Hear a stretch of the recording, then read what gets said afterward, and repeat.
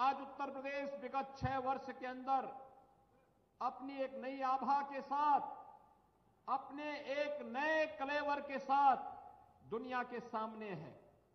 2017 के पहले अपनी बदतर कानून व्यवस्था, हर दूसरे तीसरे दिन होने वाले दंगे, शासन की विकास की परियोजनाओं में होने वाला भ्रष्टाचार न गाँव सुरक्षित, न बेटी सुरक्षित। हर ओर अराजकता का जो तांडव था, आज आपने पिछले छह वर्ष के अंदर देखा होगा। आज उत्तर प्रदेश में छह वर्ष में कोई दंगा नहीं हुआ। उत्तर प्रदेश के अंदर कोई माफिया सिर तान करके नहीं चल सकता है। और कोई गुंडा कोई उचक्का किसी बेटी की सुरक्षा के साथ खिलवाड़ नहीं कर सकता है। ये नया उत्तर प्रदेश है।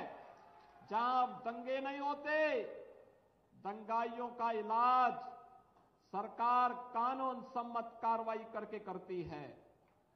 जहाँ व्यापारियों की संपत्ति पर कोई कब्जा करने का दुस्साहस नहीं कर सकता, किसी गरीब की ज़मीन पर कोई कब्जा करने का दुस्साहस नहीं कर सकता, अगर किसी अपराधी और किसी माफिया ने ज़रूरत की तो उसका इलाज भी सरकार के पास है। उसका उपचार, ऐसा उपचार करती है कि आने वाली कई पीढ़ियाँ अपराध करने से डरेंगी।